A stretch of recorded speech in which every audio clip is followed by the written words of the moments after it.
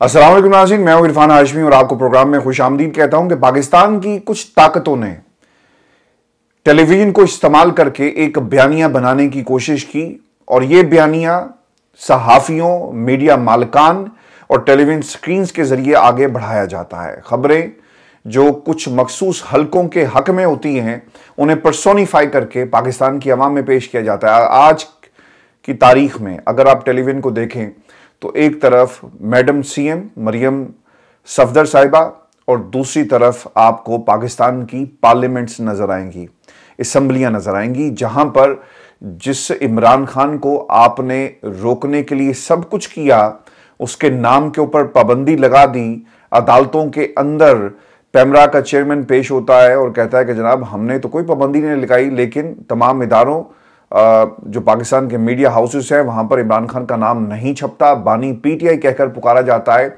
आज आप क्या पाकिस्तान के टेलीविज़न चैनल्स को रोक सकेंगे? क्योंकि इन असम्बलियों को लाइव दिखाया जा रहा है, जहाँ पर हर फर्द, जब पाकिस्तान तरीके इंसाफ का कोई रुकन खड़ा होता है तो वो इमरान खान का मास्क पहनकर आता है। जब उसे तकरीर का मौका मिलता है तो वो नौ मई का ज़िक्र करता है। वो नौ मई, जिसकी आड़ में पाकिस्तान तरीके इंसाफ को दबाने, कुचलने, ख़त्म करने की कोशिश की गई, आज वो तमाम बातें लाइव टेलीविज़न के ऊपर लोग करते हुए नज़र आएँगे। व्यूर्स बाज़ लोगों की ये भी कोशिश थी कि नौ मई के नाम के ऊपर आप तरीके इंसाफ को कुचलें और फिर नौ मई के ही ज़रिए डील करवाई जाए। मिसाल के तौर पर, जुनेद जो अकबर हैं, कौमी असम्बली में सुन्नी इतिहाद कौंसिल के, यानी पाकिस्तान तरीके इंसाफ के हमायती याफ्ता, वो आज असम्बली के फ्लोर से खिताब कर रहे थे। तो उन्होंने क्या कहा? उन्होंने ये कहा कि आप इमरान खान को इस असम्बली से निकालना चाहते थे ना? आप इमरान खान को पाकिस्तान की सियासत से माइनस करना चाहते थे तो अपने इर्द गिर्द ज़रा खोल कर देखें। हम सब इमरान खान हैं, और ये असम्बली इमरान खान की इमानत है, जो उसे ज़रूर जो है, ये इमानत वापस की जाएगी। सबसे इंटरेस्टिंग बात यह है, इस मुल्क के अंदर, ये तमाम सुन्नी तहाद कौंसिल के अंदर शरीक हो गए आप सबने देखा। लेकिन जो भी तकरीर कर रहा है, पाकिस्तान जिंदाबाद का जहाँ पर नारा लगाया जाता है, वहाँ पर इमरान खान का भी नारा लगता है। आज पाकिस्तान और इमरान खान एक हो गए और ये असम्बली इमरान खान की इमानत है, ये आपको इस असम्बली से पैगाम मिलेगा। लेकिन आप क्या इस पैगाम को रोक सकेंगे? आपने इमरान खान की तस्वीर पर पाबंदी लगा दी। अब लोग क्या कर रहे हैं? पार्लियामेंट को सरकारी टीवी के ऊपर लाइव दिखाया जाता है तो लोग जब दस्तखत करने आ रहे हैं तो उन्होंने इमरान खान की तस्वीर हाथ में पकड़ी हुई है। और फिर इसके साथ साथ पाकिस्तान तरीके इंसाफ का जो परचम है, जो ख़ास उनका एक सिंबल है, एक स्काफ वो भी आपको पहने हुए नज़र आएँगे। तो इमरान खान अब पाकिस्तान की सियासत से माइनस नहीं होगा। बल्कि वो लोग माइनस होंगे, वो ताकतें माइनस होंगी जो अपने वक्त के बाद उनका नाम लेने वाला कोई नहीं। और पार्लियामेंट के इस फ्लोर से सिर्फ़ अब इमरान खान की बात होगी और फॉर्म 45 में जिस धांधली की गई, उसकी बात होगी। और फिर इसके साथ साथ जिन लोगों को 9 मई की बुनियाद पर आपने गिरफ़्तार किया, उसका ज़िक्र होगा क्योंकि 9 मई की आड़ के अंदर एक आम व्यूर्स ये भी हुआ है कि जैसा जुनेद अकबर ने भी कहा कि उन्हें फ़ोन आता था जेल के अंदर कि अगर तुम पाकिस्तान तरीके इंसाफ के का साथ छोड़ दो और फलां जमात में चले जाओ तो तुम्हारे गुनाहों को जो तुमने किए ही नहीं उनको माफ़ कर दिया जाएगा और तुम अपने घर चले जाओगे। बस तुम्हें एक प्रेस कॉन्फ्रेंस करनी है। लेकिन लोगों ने ऐसा नहीं किया डटे रहे और आज उस आ, उस कोशिश का और उस जदोजहद का इनाम इन्हें ये मिला कि पाकिस्तान की आवाम ने उन पर अहतमाद किया। और ये तमाम लोग जो हैं वो पार्लियामेंट में पहुँच चुके हैं। आज आमिर डोगर साहब की जो गुफ्तु थी जो उन्होंने पार्लियामेंट के फ्लोर से की बहुत ही अहमियत की हामिल थी। व्यूर्स आपको याद रखना चाहिए कि आमिर डोगर साहब उम्मीदवार थे पाकिस्तान तरीके इंसाफ के, जिन्हें इक्यानवे वोट पड़े और दूसरी तरफ़ अयाज सादिक को एक सौ निन्यानवे वोट जो हैं वो डाले गए। बहुत ही अहम जुमला उन्होंने कहा कि मेरा ताल्लुक एक सियासी जमात से है और मुझे इक्यानवे वोट पड़े और आपका ताल्लुक जो है वो सात जमातों से है, यानी जो इतिहाद जिसके नतीजे में आपको वोट पड़े, वो एक सौ निन्यानवे है। तो ये फ़र्क था। अगर फॉर्म 45 के नतज को पाकिस्तान की आवाम के मैंडेट के मुताबिक जो है वो रिलीज़ किया जाए तो ये नंबर्स 225 हो जाएँगे और यही वो खौफ है जिसके तहत जो है ट्राइब्यूनल्स के अंदर केसेस सुस्त रवि का शिकार हैं। आगे केसेस नहीं बढ़ेंगे, कई कई बरस गुजर जाएँगे और मुमकिन है कि असम्बली अपनी मुद्दत भी ख़त्म कर जाए, तब भी नतज इन ट्राइब्यूनल से नहीं आएँगे। और इलेक्शन कमीशन ऑफ़ पाकिस्तान उसने तो वैसे ही इनकार कर दिया है फॉर्म 45 को अपलोड करने के हवाले से। लेकिन ताकत का सरचश्मा, जो बात उन्होंने कही ना, बहुत ही अहमियत की हामिल है कि हम ये कहते हैं ना कि ताकत का सरचश्मा डेमोक्रेसी के अंदर आवाम होती है, ये सब किताबी बातें हैं।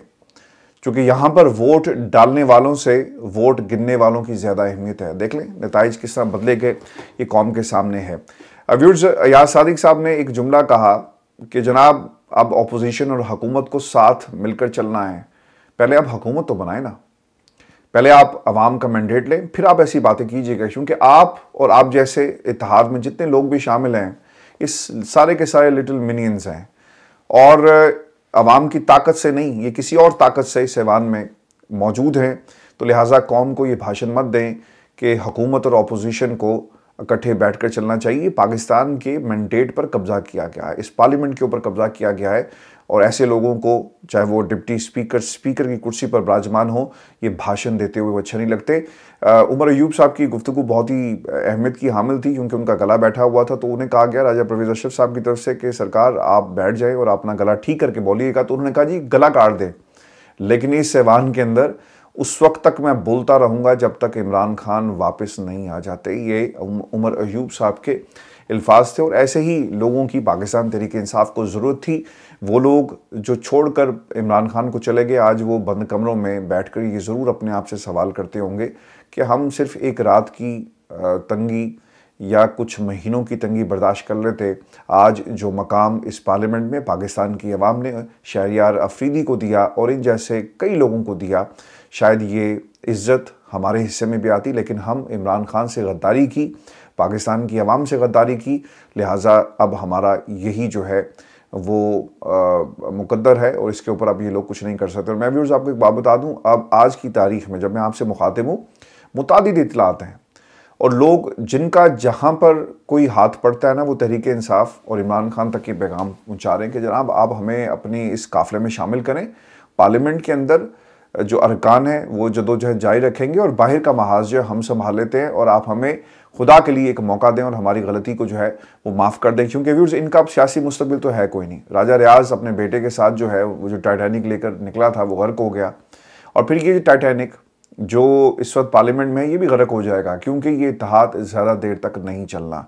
ब्रिस्टर गौर ने आ, कहा कि तेईस सरकार ये भी, भी कम है और स्पीकर साहब रूलिंग दें। अब स्पीकर साहब ये अब डिप्टी स्पीकर कासिम सूरी साहब तो नहीं है ना ये आज़ाद सादिक साहब हैं। गौर साहब ये रूलिंग कैसे देंगे कि जब तक ये वान पूरा नहीं होगा हम कार्रवाई को आगे नहीं बढ़ाएँगे? और अयाज सादिक कभी भी ऐसा नहीं करेंगे। एक मिसाल आपने दी है आइलैंड की जहाँ पर ये हुआ एक महीने तक ताखीर हुई स्पीकर के इंतखब ऐवान में आ, के हवाले से लेकिन ये पाकिस्तान है और इस स्पीकर का नाम अयाज सादिक साहब है। वो किस तरह से ये फैसला जो है वो दे सकते हैं? फॉर्म 45 पर फैसला आने में अब कई बरस लगेंगे। मैं आपको एक व्यूज़ एक बात बता दूँ। मैंने कल एक छोटा सा एक नक्शा आपके सामने खींचा था कि फॉर्म 45 को हासिल करने के लिए एक जदोजहद करनी पड़ेगी और ये जंग जो है वो लंबी है। लेकिन अगर हुकूमत ख़त्म भी हो जाए तब भी आपने फॉर्म 45 के नतज को आ, सामने कौम के ज़रूर लेकर आना है और अदालतें चाहे वो आपको पाँच साल लग जाएँ चार साल लग जाएँ ज़रूर आप इसको मनतकी अंजाम तक इसलिए पहुँचाइएगा ताकि ये तारीख का हिस्सा बन जाए। और लोग उस फैसले को याद रखें कि किस तरह फॉर्म 45 के नतज को ना मानकर फॉर्म 47 जो है वो जारी किया गया और इलेक्शन कमिश्नर के ख़िलाफ़ ज़रूर जो है वो कार्रवाई होनी चाहिए। एक इंतहाई अहम जुमला बैरिस्टर गौहर की तरफ़ से भी ये कहा गया और मेरा ख्याल है कि अक्सर लोगों ने तो अपने घरों में ये बात भी कही है। और यकीनन ये सवाल ज़रूर उठाया गया होगा ख्वाजा आसिफ के घर के अंदर कि ख्वाजा साहब तुम तो हार गए हो लेकिन टीवी ते देखो कि खबर आ रही है कि तुम जित गए हो। तो फैमिली वाले भी नहीं मान रहे जी। वो भी कह रहे हैं कि आप हार गए और ये आपका पार्लियामेंट के अंदर पहुँचना ये किसी मुजजे से कम नहीं है। व्यूर्स आज के इस ऐवान के अंदर जो अपना महमूद अचकजई साहब थे, उनकी जो गुफ्तु है वो बहुत ही अहमियत की हामिल है। और इस गुफ्तु के ज़रिए आप पाकिस्तान के आने वाले दिनों का एक नक्शा जो है अपने सामने रख सकते हैं। ये सिर्फ़ एक जमात नहीं है। पीटीआई पर नौ मई का टैग भी है और बहुत सारे आपने झूठे लेबल्स लगा दिए। लेकिन वो जमातें जिनमें नून लीग जो इस वक्त लीड कर रही है, उनके अपने घर से इस्टेब्लिशमेंट के ऊपर तनकीद हो रही है। जवेद लतीफ़ और बाकी लोगों ने तनकीद की कि ये आठ मई वाला नहीं है, ये इलेक्शन ये नौ मई वाली पार्लियामेंट है, यानी नौ मई को सब कुछ गलत हो रहा था।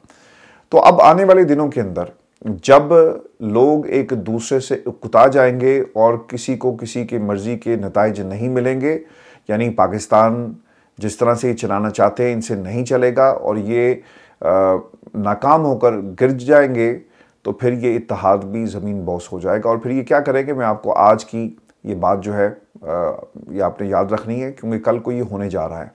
किस तरह? नून लीग वाले कहेंगे कि जनाब हमें ज़बरदस्ती से तहार में बिठाया गया। पीपल्स पार्टी वाले कहेंगे, जी, हम तो पहले ही बैठना नहीं चाहते थे। आप पूछें फलां से जो उस वक्त तक जा चुका होगा और ये बातें होंगी।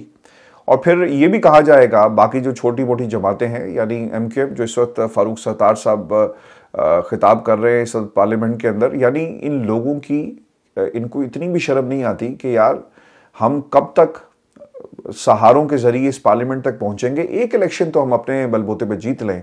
आज सीने चौड़े कर कर और अपनी जो खफगी है, उन ऑडियोज़ की मिटाने की कोशिश कर रहे हैं कि हम डील नहीं करने गए थे, हम पाकिस्तान की आवाम और कराची के लोगों का हिस्सा लेने गए थे। ये सिर्फ़ और सिर्फ़ पाकिस्तान के अंदर कुर्सियों के मज़े लेने के लिए आते हैं और इससे बड़ी कोई हकीकत नहीं है। व्यूर्स ये जो सियासी मंजरनामा है, वो मैं आपके सामने रख देता हूँ, जो हमें आने वाले कल में नज़र आ रहा है। ये तमाम लोग मिलकर एक तहरीक चलाएँगे और तहरीक जो है, उसके नतज पाकिस्तान की सियासत के लिए बहुत ही डिसाइसिव किस्म के होंगे। और बेशक आप इस्टेब्लिशमेंट के ख़िलाफ़, यानी अब हुकूमत पे आने के बाद अगर आपने एंटी इस्टेब्लिशमेंट बयानिया बनाया तो कौम आपको जो है वो तस्लीम नहीं करेगी बल्कि उस बयानी को तस्लीम करेगी जो इन हालात के अंदर भी डटा रहा आपको हुकूमत मिलती है इमरान खान जेल में बैठकर भी आज भी पार्लियामेंट के अंदर मौजूद है। क्या ये आ, ये मकाम किसी उस असम्बली के रुकन को मिला? एम क्यू एम के अंदर कोई एक नाम आप बता दें जैसे ये मकाम मिला हो सीटें जीतने के बावजूद वो पार्लियामेंट में तो मौजूद हैं लेकिन वो आवाम की पार्लियामेंट में मौजूद नहीं है। नून लीग आज आपको असम्बली में तो नज़र आएगी, लेकिन वो आवाम की असम्बली में नज़र नहीं आती। वहाँ से वो लापता है, गायब है। उनके नाम के ऊपर बैन मुकम्मल तौर पर बाइकआउट कर दिया गया।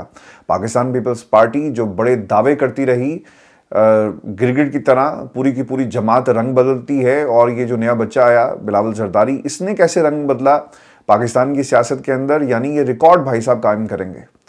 तो ये लोग आने वाले कल के अंदर इस्टेब्लिशमेंट के ख़िलाफ़ बयानियाँ बनाने की कोशिश करेंगे लेकिन उस वक्त पाकिस्तान की आवाम इन्हें रद्द करेगी क्योंकि ये बयानियाँ उस वक्त कहाँ था जब ये हकूमत और इकतदार के मज़े ले रहे थे। महमूद अचकजई साहब ने आ, क्या बातें कही हैं? जी कुछ चीज़ें मैं आपके सामने रख देता हूँ। पीपल्स पार्टी पार्लियामेंट में बैठी है। नवाज़ शरीफ वोट को इज़्ज़त दो का नारा लगाता है लेकिन वो भी आज पार्लियामेंट में बैठा है। इमरान खान भी अवाम की ताकत से आए। अब देखिए जी एक आई ओपनर, जो कर्टन रेजर इन्होंने अपने पाकिस्तान की अवाम के सामने रखा कि पीपल्स पार्टी पार्लियामेंट में कैसे आई? बैठी है, यानी बिठाया गया। नवाज़ शरीफ वोट को इज़्ज़त दो का नारा लगाते थे, लगाते हैं नहीं। और किसको इज़्ज़त दे दी गई? पाकिस्तान की आवाम बखूबी जानती है, लेकिन इमरान खान के बारे में उनके मुखालफिन भी ये कह रहे हैं कि अवाम की ताकत से वो आए, किसी के कहने से नहीं आए। आइन शिकनों का मुहासरा किया जाएगा। ये भी महमूद अचकजई साहब ने अपनी गुफ्तु के अंदर ये बात कही। और फिर जिस भोंडे अंदाज में इस पार्लियामेंट पर हमला हुआ है इन वर्कर्स का भला हो, उन वर्कर्स का जिन्होंने, उनका रास्ता रोका, जो सारे खेल को जिन्होंने उल्टा दिया और जिन्होंने अहदे भी बांट दिए कि सदर कौन होगा, वज़र ख़ारजा कौन होगा और वज़र दाखिला फला होगा, यानी जिनके साथ आपकी अंडरस्टैंडिंग बेहतर है, जिनके साथ आप मिलकर काम करने की भरपूर जो है वो सलाहियत रखते हैं। अब व्यूर्स एक इंतहाई इंपॉर्टेंट चीज़ ये भी है कि महमूद अचकजई साहब ये कहते हैं कि जिन जिन जजेस ने आइन पाकिस्तान का दिफा करते हुए मार्शल का साथ नहीं दिया, उन्हें मुल्क का हीरो डिक्लेयर किया जाए। और इन जजेस के बच्चों को वो सारी मरात मिलनी चाहिए जो उनसे छीन ली गई थी। जब पाकिस्तान के अवाम ने इमरान खान को वोट दिया तो इसको बदलना पाकिस्तान के अवाम से गद्दारी है। अब ये गद्दारी कौन कर रहा है? अब ये दरो दीवार जो मैडम सीएम, जिन दरो दीवार को आज पंजाब के अंदर वॉल चॉकिंग जो जहाँ जहाँ पर भी हुई है, उसे साफ़ करवा रही हैं। पंजाब के दरो दीवार पर लिखा जाएगा कि इमरान खान के वोट को, इमरान खान के मैंडेट को किसने चोरी किया और किस किस हलके में कितना चोरी किया गया? आप सफाइयाँ करवाएँ। आप, ये जो मिशन क्लीन अप पंजाब है, जिसमें गंदगी को साफ़ किया जाएगा, काश इस गंदगी को पहले अवानों से साफ़ किया जाए जहाँ पर आवाम के मैंडेट को चोरी करके लोग जो है वो पहुँचते हैं। तो व्यूर्स ये हालात जिस अंदाज में पाकिस्तान तहरीक इंसाफ को दबाकर कुछ लोगों को पहुँचाया गया है। ऑब्वियसली इसका इसका एक असर जो है, अब हमें इस पार्लियामेंट के जो आज के हम मनासिर देख रहे हैं, इसे यकीन बहुत ज़्यादा क्लियर है। और व्यूर्स आपको ये भी खबर दें कि इमरान खान नौ मई के मुकदमात में, जो उन पर बनाए गए, अब इसमें जी एक नए करेक्टर का इजाफा हुआ है और स्पेशल प्रोसिक्यूटर राना शकील साहब जो हैं, वो इमरान खान को नौ मई के मुकदमात में मुलजिम करार उन्होंने दे दिया है। अब ये ताने बाने जिस तरह से नौ मई के हवाले से इमरान खान के साथ जोड़े जा रहे हैं, अब शायद पाकिस्तान में प्रोसिक्यूशन को और इनके जो लोग हैंडलर्स हैं, इनको ये समझ आ जानी चाहिए कि अदालतों में इन केसेस को बाकायदा प्रूफ करना शायद इतना आसान नहीं होगा। अगर इंसदाद दहशत गर्दी की अदालतों में जहाँ पर ये केसेस जिनके ऊपर फैसले महफूज हो रहे हैं अगर ये प्रूफ पेश नहीं करेंगे तो जज साहिबान इन केसेस को उड़ा कर रख देंगे। इससे पहले भी आपने देख लिया कि किस तरह से नौ मई पर जिन लोगों के खिलाफ सबूत नहीं थे, अदालतों ने उनका क्या हशर नशर जो है वो किया। खान साहब को नौ मई के मुकदमे में मुलजिम करार दिया गया और उसकी वजह ये बताते हैं जी के इंस्ट्रक्शंस वहाँ से आ रही थी। गवाह हमारे पास मौजूद है। अब ये पूरे का पूरा केस जो है ना, गवाहों पर ये मुनसर है। तोशा खाना के अंदर भी गवाह जी मौजूद हैं। और वो गवाह इनकी अपनी मर्ज़ी के थे, जिनसे जरा करने का भी हक नहीं दिया गया। साइफर के अंदर भी गवाहों के ऊपर सज़ा जो है हो जाती है। फिर एविडेंस जो हार्ड एविडेंस था, वो इन मुकदमात में पेश नहीं किया गया। फिर इद्दत वाले मामले के अंदर जज साहबान खुद जिन्होंने ये फैसले दिए वो भी अब परेशान हैं कि यार ये हमसे किस किस्म के फैसले करवाए गए? व्यूर्स आपको ये याद रखना चाहिए, इद्दत एक ऐसी चीज़ है, जिसमें अगर औरत ये कह दे कि मेरी इद्दत ख़त्म हो गई तो वो इद्दत ख़त्म हो जाती है और यहाँ पर डेज़ जिनका ज़िक्र किया जा रहा है, अगर उसको कैलकुलेट किया जाए, सुप्रीम कोर्ट ऑफ़ पाकिस्तान के बाकायदा रूल फैसले मौजूद हैं, जिसकी रोशनी में एपलेट जो ट्राइब्यूनल्स हैं, यानी एपलेट जो प्लेटफॉर्म्स जिनको आप हाई कोर्ट और सुप्रीम कोर्ट की जो प्लेटफॉर्म्स हैं, ये इसको उड़ा कर रख देंगे। अगर इस्लामाबाद ने इसको ना उड़ाया और वहाँ पर भी वही रवैया रखा गया जो कि नहीं रखना चाहिए यकीनन ये सुप्रीम कोर्ट ऑफ़ पाकिस्तान से ज़रूर जो है, ये मुकदमात ख़त्म हो जाएँगे। राना शकील के दलाइल ज़रा गौर करें, जो वो दे रहे हैं अदालत के अंदर और जिस तरह इमरान खान को साबित करने पर ये तुले हुए थे कि जनाब सब कुछ इन्होंने ही करवाया। गवाहों के बयान मौजूद हैं कि इमरान खान ने पी टी आई तमाम रहनुमाओं की फ़ौजी तनसीबात जलाने का कहा। जज ने सवाल किया कि कोई ट्वीट या पोस्ट मौजूद है, जिस पर स्पेशल प्रोसिक्यूटर ने कहा कि जी हाँ ट्वीट्स और इंस्टाग्राम पर बहुत से पैगाम हैं। इमरान खान ने आवाम को सड़कों पर निकलने का कहा। देखें मैं आपको एक बात बताऊँ। अगर जज ये खुद से सवाल करे कि आपके पास क्या कोई ट्वीट या कोई आ, पोस्ट मौजूद है? इसका मतलब ये हुआ कि कहीं ना कहीं ये बात पहले से तय की गई थी कि मैं आपसे ये सवाल करूँगा आगे से आपने ये जवाब देना है। अदरवाइज़ इस अदालती निज़ाम में अगर कोई कहता है ना कि मेरिट पर ही क्वेश्चन और उनके आंसर्स आते हैं नहीं हो सकते। इमरान खान जब ये पूरे का पूरा वाक़ हुआ, जेल के अंदर मौजूद थे, अब प्रोसिक्यूशन ने ये साबित करना है कि इमरान खान जेल से बैठकर किस तरह ट्वीट कर रहे थे और क्या उन ट्वीट्स के अंदर वाकई ऐसा कहा गया कि जाओ और जाकर फलां मकाम के ऊपर जो है वो तोड़फोड़ करो। ये साबित करना बहुत ही मुश्किल होगा। इससे पहले तकरीबन दो ढाई हज़ार सफ़ात की एक रिपोर्ट जो है वो पुलिस की तरफ़ से बनाई गई। ज्वाइंट इन्वेस्टिगेशन टीम ने लाहौर में और उसमें क्या बना वो भी आपके सामने है। जाते जाते काबीना ने भी एक नौ मई के वाक़ात के हवाले से एक कमेटी बनाई। उसका क्या बना?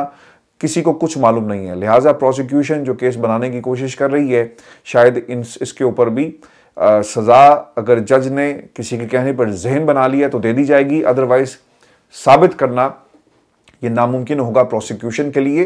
और जब ये केसेस ओपन अदालतों में चलेंगे तो फिर आपको लग पता जाएगा क्योंकि इस केस के अंदर इमरान खान की जेल से जो वीडियो लिंक के ज़रिए जो समात है उसमें हाज़िरी की यकीन दहानी करवाई गई थी और फिर खान साहब को जो पेश करना है, शायद वो किसी अदालत में बाहर नहीं पेश किया जाएगा। अदालत ने इमरान खान की चार मुकदमात में जी बुरी जमानत कन्फर्म कर दी है। अदालत ने पाँच पाँच लाख रुपए मुचलकों के एवज जमानतें मंजूर की और इंसदाद दहशत गर्दी अदालत के जज अरशद जवेद ने बुरी जमानतें जो है कन्फर्म की हैं। इमरान खान को तीन केसेस में जी सज़ा हो गई है साइफर, तोशा, इद्दत के निकाह का जो मामला है इसके अंदर और अब चौथे केस में भी फर्द जुर्म जो है वायद होगी। अलकादर ट्रस्ट केस के अंदर देखना ही है कि ये तीन केसेस इनकी सज़ाएँ जो अपील्स दायर की गई हैं, वहाँ से पहले फैसला आता है या फिर ट्रायल कोर्ट जो है वो अपना फैसला सुना देता है, जहाँ तक ताल्लुक है जी, अलकादर ट्रस्ट केस, यानी 190 मिलियन पाउंड और फिर आपको ये भी खबर दे दें कि शहरियार अफरीदी और श्री मजारी के गैर कानूनी एम पी ओ ऑर्डर जारी किए गए थे डी सी साहब की तरफ़ से। इस्लामाबाद हाई कोर्ट ने इख्तियार से तजावज़ पर डिप्टी कमिश्नर इस्लामाबाद इरफानुल्ला नवाज़ मेमन और एस एस पी ऑपरेशन को मिन्स कंडक्ट का मुर्तकब करार देते हुए बिल तरतीब छः और चार माह की कैद जो है वो सुना दी है। जस्टिस बाबिर साहब का ये एक लैंडमार्क जजमेंट है। इसके ऊपर देखना ये होगा कि जो फैसला सुनाया गया आ, उसमें एक तो बाबर सत्तार साहब ने ये लिखा कि मुख्तफ सज़ाओं की बुनियाद पर तीस रोज़ के लिए सज़ा मुतल करते हैं। सज़ाएँ अपील के दिनों तक मुतल रहेंगी। एक माह की मुद्दत के दौरान अपील ना होने की सूरत में सज़ा पर अमल दरामद जो है वो शुरू हो जाएगा, जिस और जस्टिस बाबर सत्तार साहब ने यह भी हुक्म दिया कि वजी अजम मुल्क भर के डिप्टी कमिश्नर की जानब से एम पी ओज ऑर्डर के इजरा की तहकीक़ात कराएगा। एम पी ओ ऑर्डर्स आइन, कानून और अदालती अहकाम के ख़िलाफ़ मनज़म अंदाज में जारी किए गए। तहकीक़ात कराएँ कि क्या एम पी ओ ऑर्डर किसी गैर कानूनी अहकाम की बुनियाद पर जारी किए गए? अगर ऐसा है तो मुनासिब इकदाम करके यकीनी बनाएँ कि रियासत को मुंतब नुमाइंदों अवामी नुमाइंदों के ज़रिए चलाया जाए। अच्छा जी, अब इस पर ना एक एक बाकायदा ही फैसला वजी ऑफ़िस के लिए भी इंस्ट्रक्शंस के साथ दे दिया गया है कि उन अवामिल को चेक किया जाए, जो अवामिल सिस्टम को ब्यूरोक्रेसी को, रियासत को और रियासती मशीनरी को इस्तेमाल कर रही थी, वो अनासर कौन से हैं? अगर तो वो लोग नज़र नहीं आते तो ऑब्वियसली नेक्स्ट टाइम या तो इन लोगों को बचाने के लिए इंट्रा कोर्ट अपील जो दायर कर दी गई है और उसके बाद पुलिस ने इस पर ट्विटर पर लिखा भी है, इसके ज़रिए बचा लिया जाएगा और अगर नहीं बचाया जाता तो कल को ब्यूरोक्रेसी ज़रूर जहन में रखेगी कि यार, दो लोगों को सज़ा हो चुकी है तो इन्हें अदालत की तो हमने अब ये काम नहीं करना। और क्योंकि काम करवाने वाले, काम करवा कर साइड पे हो जाते हैं ब्यूरोक्रेसी ने सिस्टम में रहना है और कई बरस नौकरियाँ करनी हैं तो वहाँ पर यकीनन ये सवाल बहुत ही अहमियत का हामिल होगा। व्यूर्स इस्लामाबाद पुलिस ने ट्विटर में लिखा कि कानून सबके लिए बराबर है, कानून के मुताबिक कार्रवाई आगे बढ़ाई जाएगी। इस्लामाबाद कैपिटल पुलिस अपने फ़रज़ मनसबी रंदही से अदा करती रही। Deputy commissioner, Islamabad SSP operation और अदालत के हतमी फैसले तक अपने अहदों पर काम करते रहेंगे और फिर अब खबर यही कि अपील दायर कर दी है आमिर फारूक और महमूद जहांगीरी साहब जो हैं वो छः मार्च को सॉरी, चार मार्च को इस पर समाप्त कर रहे हैं। यानी बचाने वाले देखते हैं कि कोई बचाता है या नहीं बचाता, और अगर बचा लिया तो फिर सबसे बड़ा सवाल पता क्या होगा? कि जज साहिबान अपने ही जज के खिलाफ चले गए ये आपको याद रखना है क्योंकि ये तोहन अदालत का मामला है।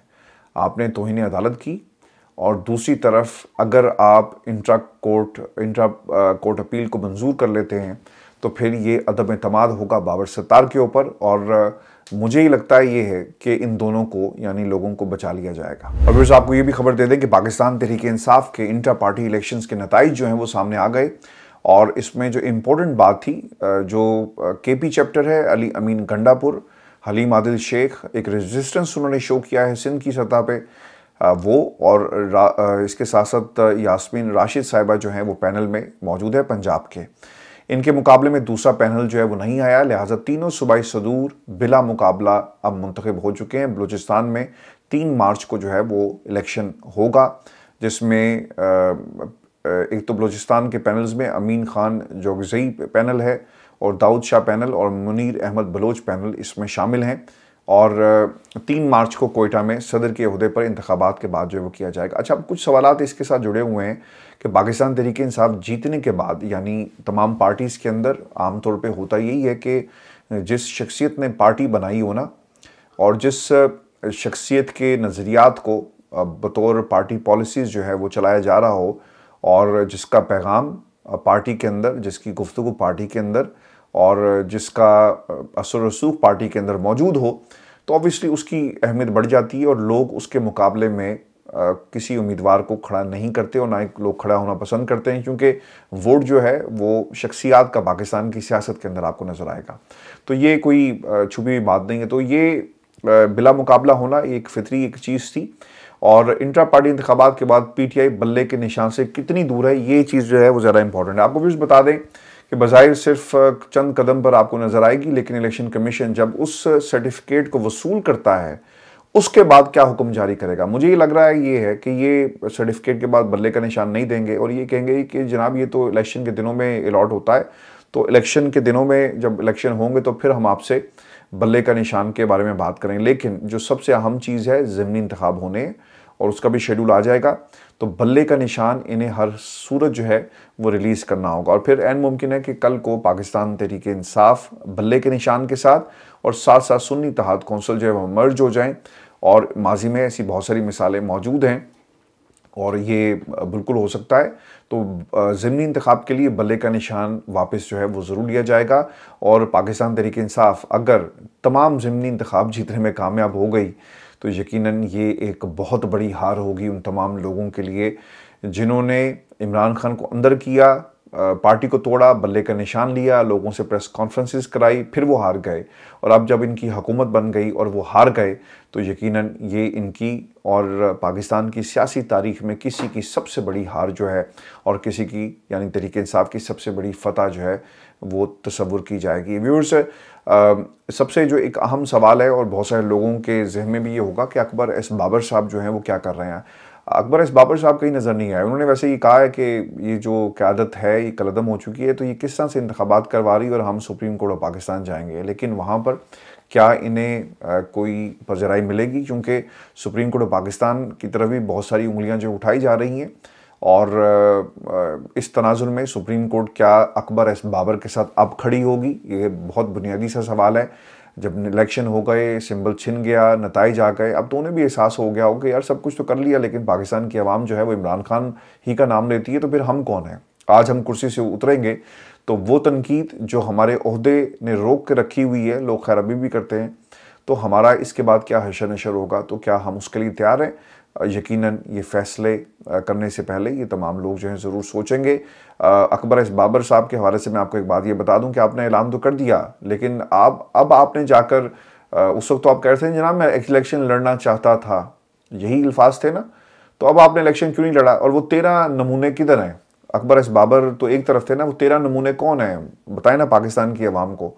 अब क्यों नहीं वो गए और क्यों वो सामने उनका कोई बयान नहीं आया कि जनाब हम भी इलेक्शन लड़ना चाहते थे? यानी देखें काजी साहब कितनी मासूमियत से सवाल करते हैं कि आप वाकई मेंबर हैं? वो कहते हैं, जनाब मैं मेंबर हूँ। पक्की बात है। तो ये पक्की बात कहने पर किसी को आपने मेंबर समझ लिया? उसे आप कहते ना कि कागज़ लाओ, आपके अल्फाज हैं। जनाब हम ये ऐप ऐप शैप को नहीं मानते और हम इस चीज़ को नहीं मानते मीडिया रिपोर्ट्स को। आप कागज़ लेकर आए। कागज़ कहाँ पर तो अब वो तेरह के तेरह कागज़ क्यों नहीं लेकर आए? तो पाकिस्तान की आवाम के साथ जो खिलवाड़ हो रहा है और जितना हो चुका, अब इसका डी एंड होने का वक्त आ चुका है। शो था आज का हमारा। अपने कमेंट्स भेजिएगा, चैनल को ज़रूर सब्सक्राइब करें। इजाज़त दीजिए अल्लाह